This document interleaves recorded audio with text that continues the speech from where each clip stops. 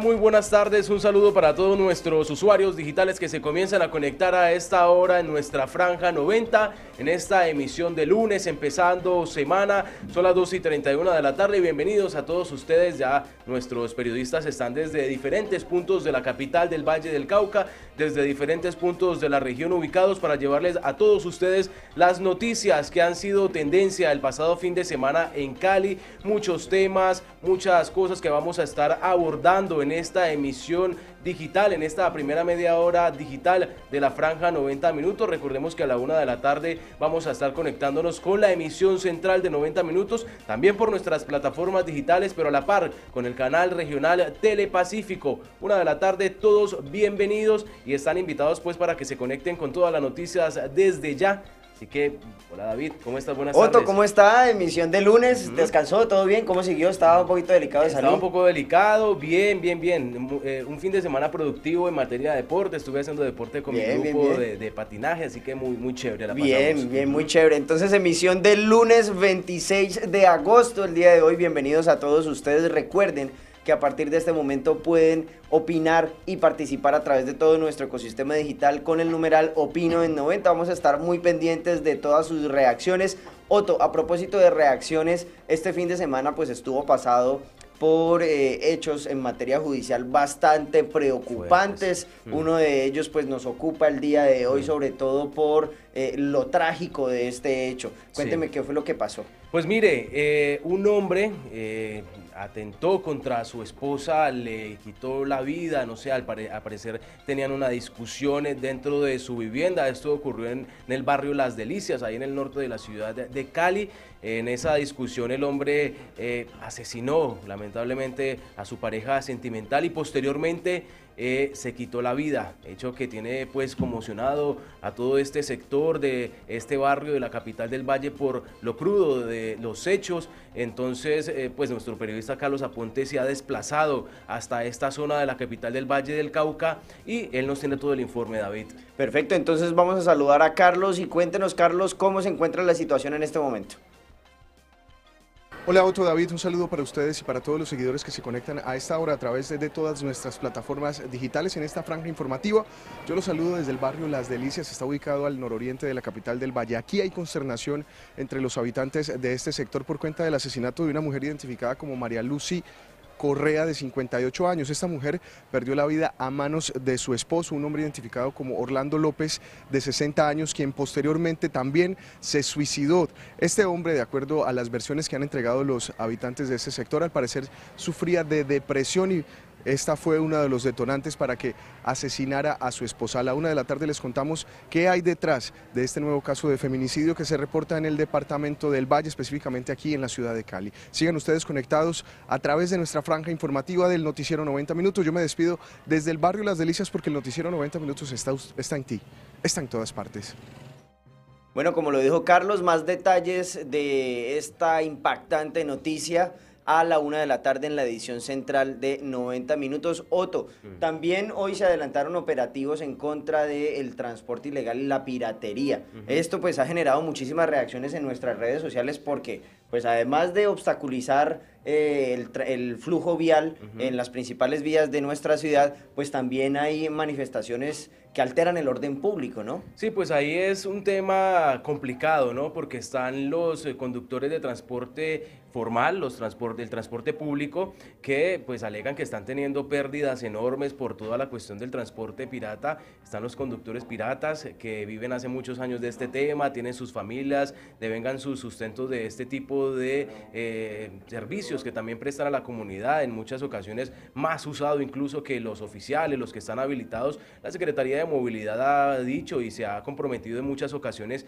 que va a eh, hacer diferentes operativos para eh, luchar y para lograr acabar con este tipo de transporte y pues es lo que ha ocurrido en las últimas horas. Un grupo especial de la Policía de Tránsito y Transporte ha llegado a la capital del Valle del Cauca. Se van a encargar exclusivamente de hacer operativos en contra de este tipo de transporte pirata o transporte informal en la ciudad. Hay por lo menos tres puntos identificados en la ciudad, la Simón Bolívar, la avenida Ciudad de Cali, el tema de la Portada del Mar. Son zonas que están identificadas por la Secretaría de Movilidad de Cali donde hace presencia con mayor fuerza este tipo de conductores. Así que nuestra periodista Catherine Estacio está en esa zona de la capital del Valle del Cauca que nos va a presentar el informe de qué se trata este grupo especial de la Policía de Tránsito y Transporte que llega a Cali a reforzar el transporte pirata. Adelante, Catherine.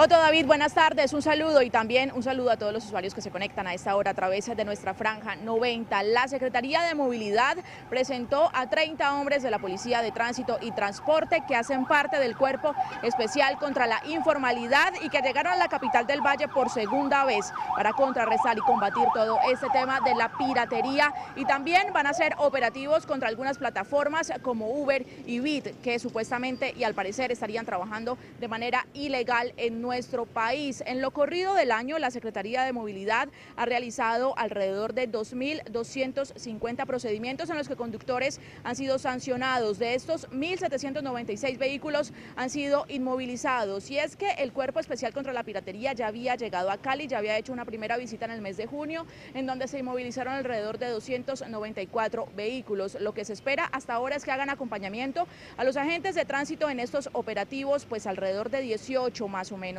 han sido agredidos por los conductores de este tipo de transporte, por lo que se hace necesario este apoyo policial. Van a trabajar en varios sectores de la ciudad, específicamente y principalmente en la avenida Ciudad de Cali y la autopista Simón Bolívar. Todos los detalles en nuestra emisión a la una de la tarde en los próximos minutos, el noticiero 90 minutos en el canal regional Telepacífico.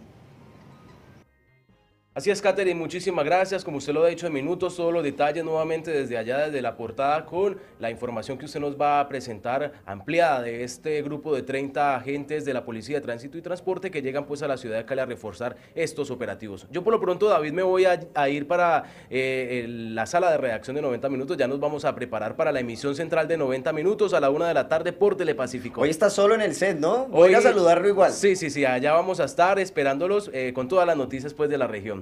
Perfecto, muchísimas gracias y muchas gracias a ustedes los que están conectados a esta hora, 176 personas conectadas a través de nuestra transmisión en Facebook Live. Recuerde que puede interactuar con nosotros con el numeral Opino en 90 durante toda nuestra transmisión a partir de las 12.30 y hasta las, 2 de la hasta las 2 de la tarde. Si lo quiere ver en repetición, lo puede ver a través de Twitter, Facebook o Instagram o nuestra plataforma de UAO Play en nuestra página web www.uaoplay.com edu.co. Allí va a poder ver todas nuestras emisiones en nuestro repositorio digital. María Camila, ¿cómo está? Muy bien. Venga, a propósito de estos eh, hechos lamentables que hemos tenido este fin de semana, pues hay unas cifras que eh, dicen que Cali, a pesar de tener estos hechos, no le ha ido tan mal con respecto a las cifras de hurtos y homicidios en nuestra ciudad, en lo último, en lo que va corrido el año. Sí, David, así como usted lo dijo, Cali, como vamos, ya sacó el índice, el boletín de seguridad de nuestra ciudad de Cali, que va desde el primero de enero de 2019 hasta el 17 de agosto pues de, este mismo año y presenta tanto los homicidios como los hurtos. En cuanto al tema de los homicidios, como ejemplo, pues nos hablaba Otto hoy al inicio y también otro homicidio que hubo el fin de semana donde dos, dos, dos señores en, un moto, en una motociclista eh, le dispararon a un señor que estaba en un, en un sitio de comidas rápidas aquí en el sur de Cali, pues eh, se registraron 678 homicidios en Cali. Esto presentó, en lo que va del año. En lo que va del año, en lo que va después de estos meses del año, eh, presentó una reducción del 12,2% frente al mismo periodo del año pasado, es decir, 94 homicidios menos. Y frente a los hurtos, eh, el boletín dice que eh, se registraron 7.247 denuncias por hurtos, pero esta cifra sí aumentó respecto al año pasado, siendo el mes de mayo el, mes con más hurtos en nuestra ciudad de Cali. Bueno, María Camila, la semana pasada estuvimos hablando de alias Fritanga, un importante narcotraficante que pues se le ordenó su extradición a Colombia, pero hoy ya se sabe cuántos años de prisión le van a dar y qué cargos, a qué cargos tendrá que responder. Sí, David Camilo Torres Martínez, mejor conocido como alias Fritanga, eh, en estas horas, eh, pronta, en este día, pues, se presentará eh, deportado hasta acá Colombia y vendrá en un vuelo con otro, otros 90 colombianos deportados. Él ya cumplió seis años en la prisión de Estados Unidos, pero aquí en Cali, en, aquí en Colombia, perdón, tiene dos condenas, la primera por narcotráfico y la segunda por documentar papeles públicos, que en total solo presentaría 25 años de prisión. Perfecto, María Camila. Bueno, para ir finalizando entonces el resumen regional y nacional, la restitución de tierras ha sido un tema bastante polémico desde que se firmó el acuerdo de paz. Hay personas que se manifiestan de acuerdo, otras bastante en desacuerdo. Cuénteme en qué va, por qué van a hacer una re-revisión. Sí, la unidad de restitución de tierras va a hacer un examen. Eh, sobre las decisiones que, se, que tomó el gobierno pasado, sobre los, eh, los, los, pedidos que hacen los ciudadanos para ratificar si su predio es, eh, es o no es de ellos durante pues, el conflicto. La, la unidad de restitución de tierras va a, a abrir 3.000 decisiones que ni siquiera se presentaron en su primera etapa.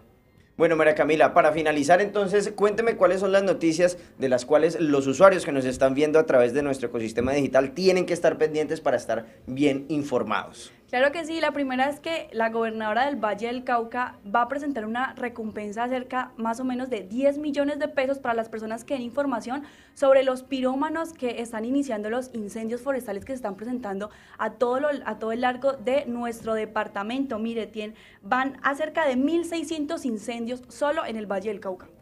Bastante importante la cifra. Sí, otra noticia que usted tiene que saber es que ya en noviembre se comenzarán las construcciones de la troncal oriente del mío. La primera y, las, y, los, y el segundo tramo es una vía que va a estar eh, por todo Cali desde el norte hasta el sur y va a pasar por la Simón Bolívar. Hay buenas noticias sobre los míos, ¿no? ¿Ya llegaron los nuevos míos eléctricos? Sí, claro que sí. Volviendo al tema de Metro Cali, ya están aquí los nuevos buses eléctricos. Aquí le tenemos un video donde usted puede ver estos nuevos buses. Eh, son 26 buses eléctricos y 21 a gas que funcionarán, eh, podrán eh, transportará cerca de mil personas al día y comenzarán a finales de agosto a transitar ya en las vías de nuestra ciudad de Cali. el túnel mundialista está sin luz, ¿no? Sí, David, el túnel mundialista amaneció sin luz porque otra vez y por cuarta vez en este año se robaron el cableado de iluminación del túnel. Ya se tiene a un sospechoso y se está esperando el proceso de judicialización. Así está en este momento. Así amaneció y las, eh, las obras, los reparos por parte de la alcaldía se van a presentar apenas el día de mañana. Perfecto, María Camila. Muchísimas gracias entonces por la información regional y nacional y a ustedes por estar con nosotros en Franja 90 43 de la tarde. Y antes de ir con información internacional, aprovecho para dar saludos a quienes nos reportan sintonía, como lo hace nuestra fan destacada Lorena Iocuello. También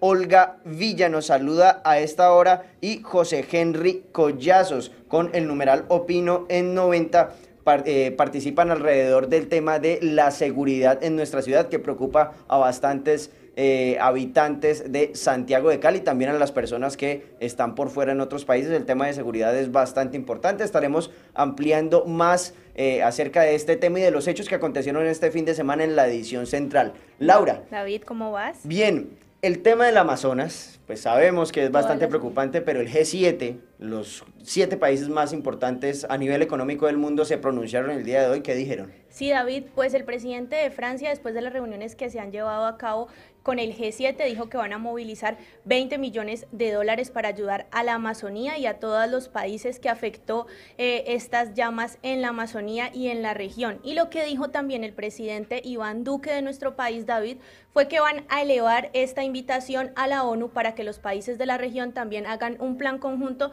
donde puedan ayudar a la Amazonía y a los animalitos que se han visto tan afectados. Bueno, buenas noticias al menos para tanta tragedia ambiental en ese lugar del mundo. Laura, Hablando de eh, situaciones críticas, pues varios países se van a reunir para atender a los venezolanos. ¿De qué se trata y quiénes se van a reunir? Pues David, eh, hoy en Cúcuta se va a dar la tercera conferencia de salud latinoamericana y se van a reunir 10 eh, países con sus ministros de salud y también otros representantes de la salud de estos países latinoamericanos para definir temas contra los migrantes venezolanos y la salud de ellos. Se sabe que se van a hablar temas como el VIH, también unificarles a ellos una tarjeta de vacunación, la malaria y también la salud mental, David. Y pues todo esto porque la ONU dijo que desde 2015 los, han salido más o menos 4 millones de venezolanos del país y la mayoría se encuentran aquí en Colombia, que la cifra es más o menos 1.4 millones. Perfecto, Laura. Para finalizar entonces nuestro resumen internacional, pues hay una amenaza de tormenta en el Atlántico, posiblemente eh, podrá impactar Colombia, la costa atlántica colombiana o qué tan cerca pasará pues de David, nuestras costas? La tormenta Dorian está creciendo según lo que dijo el Centro Nacional de Huracanes, ya los vientos están en 60 millas por hora y se están acercando al Caribe más que todos los países de Puerto Rico y de República Dominicana. Entonces hay que estar atentos de la información que dé el Centro Nacional de Huracanes porque sí se sabe que él está creciendo y que podría llegar a volverse huracán. Es decir, no han hablado nada de las costas colombianas, pero dicen que hay que estar ahí. Y va a llegar al Caribe, o sea, sí se sabe que lo más probable es que en los, en los días de esta semana llegue hasta Puerto Rico y República Dominicana. Bueno, Laura, muchísimas gracias entonces por el resumen internacional. Si usted quiere conocer alguna otra noticia o tiene alguna sugerencia, puede hacerlo a través de nuestras redes sociales. Recuerde, el numeral Opino en 90, vamos a estar muy pendientes de todas sus declaraciones. Aprovecho para saludar a esta hora a José Omar Arango Mina. También saludo a Jorge Isaacs y a Leo Paz Muñoz. Nos hacen eh, comentarios acerca de la situación de seguridad en sus barrios. Saludos para todos ellos. Vamos a estar analizando su información en contados instantes. María Camila. Hola David. ¿Cómo va todo? Muy bien, ¿y usted? Venga, eh, la música de cuerda eh, hace parte de la música autóctona de nuestro país y usted tiene una muy buena invitación el día de hoy. Sí, bueno, es que llega la versión número 27 del Festival Nacional de los Mejores Tríos. Es un festival en el que reúne esta música de cuerda y en esta ocasión se han escogido los ocho mejores tríos de todo el país. Se presentaron 88 al concurso, ya hay ocho seleccionados que vienen de Popayán, de Pasto, bueno, de muchas partes de Colombia y pues se van a presentar aquí en Cali a partir del 29 de agosto hasta el 31. Entonces, ¿En dónde? Están el 29 de agosto en el Teatro Municipal Enrique Buenaventura. Van a haber muchos escenarios, el 29 hay otro, el 30 hay otro, y el 31 terminan en el Centro Deportivo de Luzmeri Tristán. Ah, bien. Exacto. Entonces, para que todos asistan, es un festival que tendrá dos invitados internacionales también, uno de México y el otro de Venezuela, para que, bueno, vayan y disfruten de lo mejor de la música de tríos, que según la fundadora de la Fundación para el Artista Colombiano, pues a ella la enamoraron con tríos, ¿no? Entonces ah, quiere rescatar toda esta cultura y este noche romántica en Santiago de Cali. Oiga, hoy estamos muy musicales porque el Divo de América vuelve a la sucursal del cielo. Sí, bueno, el Divo de Juárez que ya pronto cumplirá tres años de su fallecimiento, el 28 de agosto. Y pues aquí en Cali quieren darle como ese homenaje en un concierto que se hará en el Centro Cultural de Cali, en el Salón 218, eh, para que todos asistan el día de hoy y pues estén ahí recordando lo mejor de todos los éxitos de Juan Gabriel, de lo mejor de esa música que generación tras generación ha pasado, ¿no? Porque yo supongo que usted se sabe alguna canción de Juan Gabriel. Sí, sí, sí, la verdad es que Juan Gabriel marca, ¿no? O sea, nuestros papás escucharon, nosotros, también, Y la gente sigue escuchando mucha música de Juan Gabriel. Sí, sí, sí. bueno, eso es. Muchísimas gracias entonces por la información cultural y del entretenimiento. Y a ustedes, muchas gracias por estar con nosotros, 12.48. Y antes de ir con información deportiva, aprovecho para dar un resumen del clima para Santiago de Cali, quien hoy tendrá eh, un promedio de temperatura de 29.8 grados centígrados con una baja probabilidad de lluvia y día soleado durante toda esta jornada. Carlos, ¿cómo va todo? ¿Bien ¿Bien? Venga, a propósito de jornadas, eh, América vuelve a ser el líder de la liga y eso me llena de mucho de mucha felicidad. Sí, la verdad es que se con buena, buena suerte la, la América de que yo empecé acá Sí, le ha ido bien. va para arriba, ¿no? No, no, no, por eso usted ya es activo fijo de Franco 90. Por ahí anda mi compañero, ¿será que vuelve o no, no vuelve? No, no, no, no, él ya, sí, definitivamente tomó, eh, hicimos eh, caso omiso de sus labores. Que muchas gracias. Bueno, sí, David, eh, entiendo su felicidad, la felicidad de todos los hinchas americanos, porque el día de ayer América asumió el liderato de la tabla de posiciones después de vencer un gol por cero a Envigado un partido que en el principio estaba un poco enredado. no sé cómo lo vio usted. Sí, sí, sí, fui al estadio inclusive. Sí, claro. Complicadito, ya estaban como estresándose un poco o qué. Sí, bastante enredado. Envigado siempre complica, ¿no? Al América. Sí, un equipo difícil.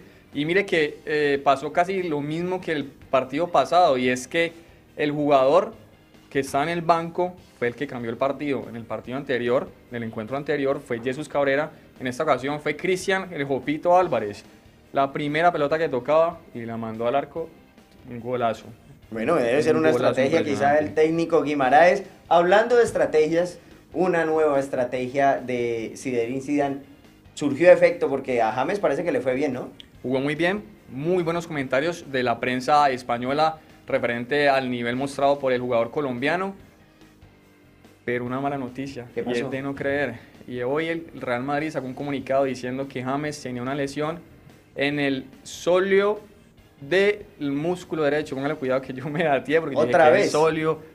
El sóleo sabe dónde está ubicado, en la pantorrilla. Ah, ok. Ahí, ahí está. No es la primera lesión que tiene James en este lugar, pero lastimosamente lo deja, lo deja por fuera unos días y se pierde como tal los amistosos frente a Brasil y Venezuela, que tiene pensado obviamente Colombia preparatorios a las eliminatorias. Una noticia lamentable, pero hay que esperar cómo se recupera. Pero es mejor que se cuide. La hinchada lo recibió bien. Lo recibió muy bien Bueno, afortunadamente. para finalizar, hoy otra etapa de la Vuelta a España. Sí. Otra etapa, el ganador fue el, el irlandés Sam Bennett.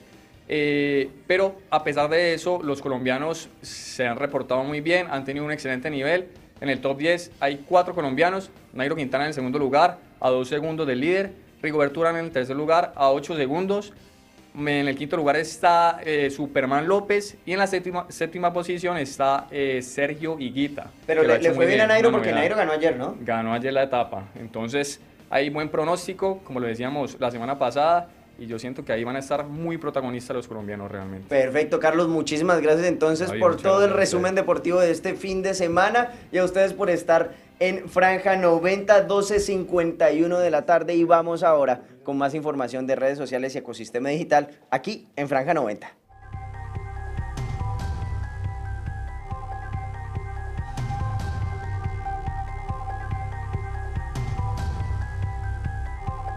Hoy lo quiero más que ayer y menos que mañana. ¿Usted a quién le está picando el ojo? Pero antes de que me Eh, no, a la audiencia, evidentemente. Hay varias fans destacadas Ah, que ok. me saludan y lo saludan Saludo a, constantemente. los- a las fans de David. Oiga, Julián, hoy lo recibo eh, con mucha felicidad, con la felicidad de los líderes de la liga. Eh, usted la vivió hace algunas semanas, pero hoy eh, quien gana es el que goza. Entonces, La recuperaremos. bueno, eh, Julián, a propósito de buenas noticias este fin de semana, ¿cuál fue eh, la noticia más vista este fin de semana y por qué? La noticia más vista, David, comenzó desde el viernes y ha sido todas las conflagraciones que se han presentado en los cerros de Cali, especialmente la que se vivió iniciando el fin de semana, en donde se volvió viral el rescate del cuerpo de bomberos de un guatín que infortunadamente en el transcurso del sábado y el domingo perdió la vida por no poder soportar las graves quemaduras que tenía. Aquí está el reporte del cuerpo de bomberos en aquel entonces. En estos momentos nos encontramos en el sector del Mortiñal, dando un parte de controlar la situación. En estos momentos vamos a empezar a liquidar los puntos calientes, un incendio que estuvimos de, de horas de la tarde. Eh, vamos a ver cuántas hectáreas se quemaron. Tuvimos el apoyo de la Fuerza Aérea con cinco descargas. Tuvimos el apoyo de las con la fauna y la flora se ve afectada nuevamente. Hemos logrado re- rescatar un guatín, sus crías han fallecido, algunas aves también y, unas zarigüeyas.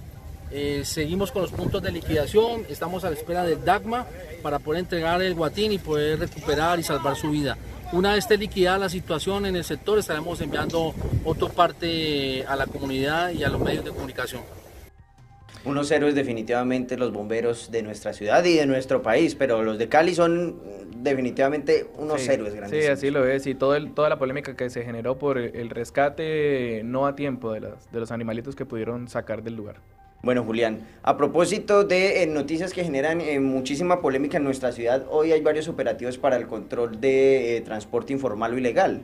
Sí, así como lo vieron al inicio de nuestra franja 90, nuestra periodista Catherine Estacio nos traerá hoy todo un informe especial de cómo la policía de carreteras ayudará a los guardas de tránsito a controlar el tema de la piratería y por eso le hemos preguntado a nuestros usuarios en redes sociales si considera que el apoyo de la policía va a permitir que se reduzca el transporte informal. Recordemos que inicialmente hará una colaboración en la portada del mar en esos vehículos que hacen el transporte a las personas hacia sectores como municipios de Dagua y finalmente de Buenaventura.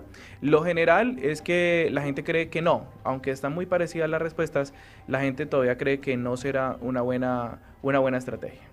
Bueno, si usted tiene algo que comentar, lo puede hacer, recuerde, a través de nuestro numeral Opino en 90. Julián, muchas gracias. ¿Le Ya recibo ya con Otto? Sí, ¿le recibo ya con Otto? Vale, Bien. nos vemos. Listo, nos vemos Chao. entonces, Julián. Y recuerden que ustedes pueden seguir interactuando con nosotros con el numeral Opino en 90. Vamos a estar muy pendientes de eh, todas sus eh, declaraciones y comentarios a través de todo nuestro ecosistema digital. Rápidamente, saludos a Joel Zapata, que nos reporta eh, sintonía a esta hora. Ricardo Ramírez. También Lorena Iocuello y Janet Guarnizo nos reportan sintonía con el numeral Opino en 90. En contados instantes vamos para el máster central de emisión del noticiero regional más visto en Colombia. Recuerde que usted lo puede ver también por el canal regional Telepacífico a la una de la tarde. ¿Me dicen si ya podemos ir al máster?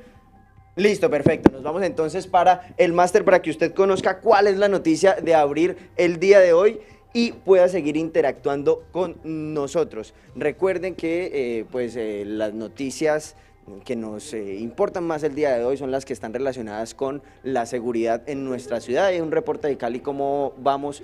que dice que evidentemente la cantidad de homicidios y de hechos que alteran la seguridad de nuestra ciudad disminuyeron con respecto a el año pasado. Guido, Hola. ¿cómo está? Bien, bien, bien. ¿Cómo le fue en vacaciones? Muy bien, gracias a Dios, descansé Descansa. mucho. Ah, bueno, me alegra. Guido, volviendo a las labores, ¿cuál es la noticia de abrir el día de hoy? Nosotros vamos a abrir con una nota sobre mm, un grupo especial de policía de tránsito que viene a apoyar las labores de nuestras autoridades para controlar la piratería en el transporte. Una cosa que salió de madre, todos lo sabemos, que hay una cierta necesidad del público por acceder al transporte, pero que de verdad se ha, se ha ido pues, del control de las autoridades. Las autoridades intentan, eh, digamos, retomar el control. Eh, vienen 35 policías y van a estar durante un tiempo haciendo operativos para controlarlos. Mucha gente dice que estos operativos puede que no sean tan efectivos. Lo que, lo que uno se preguntaría es cuando se vaya el equipo de 35 policías, eh, ¿qué va a pasar? ¿Ya el mío está cubriendo esas necesidades o otro tipo de transporte? Pues tal vez no y vuelvan los piratas a, ocupar sus, sus espacios naturales. Bueno, Guido, muchísimas gracias. Más información a la una de la tarde. Voy otra vez a encontrarme con Julián para que eh, me conecte con Otto, eh, que hoy está en el estudio central de 90 minutos. Juliancho, Bien. ¿cómo va todo? Bien, bien. Hoy está listos. Otto solito. Hoy estará Otto en nuestro set llevándoles todas las noticias de la misión central, así que vamos a encontrarnos y ya regresamos con usted. Continuamos entonces nuestra transmisión en esta franja 90. Otto, hoy usted nos Hola, estará Julián. acompañando con todas las noticias que tendremos para nuestra emisión. Importantísimo el tema de los operativos que iniciará la Policía de Carreteras a ayudarle a los guardas de tránsito para que controlen un poco el tema de la piratería, ¿no? Sí, pues es un tema que se ha venido presentando en las últimas semanas y en el último tiempo aquí en la capital del Valle del Cauca y es el tema de la piratería. Por un lado están pues todas las eh, familias que devengan su salario del transporte público formal y que se han visto pues afectados por todo el tema de la piratería. Están las familias de los conductores eh, piratas que eh, también devengan pues sus Ahí salarios. pasa nuestro camarógrafo, este- esta es la idea de hacer Estamos franja bien, 90, sí, ¿no? Estamos bien, la gente sabe pues que es una emisión en vivo, que estamos preparándonos Así para es. la emisión, salen cables, corren camarógrafos, todo está muy bien, pero la información la tenemos ahí preparadas para ustedes. Le decía pues que están también los conductores piratas, pero las autoridades en Cali pues están alertando de la nueva de métodos que están creando para evadir justamente los controles a la Secretaría de Movilidad, los cuales también se ha visto agredidos en muchas ocasiones. Llegó un equipo de Bogotá, 30 agentes que van a venir a colaborarle a los agentes de tránsito a realizar esos operativos. Importante, ¿no? Así es. Hoy entonces le damos la bienvenida a nuestro director Guido Correa, le damos la bienvenida también al Gato Arce que vuelve a la- al set de 90 minutos y le damos el paso también a David para que usted despida esta franja 90 y nos conectemos inmediatamente con la emisión central de 90 minutos.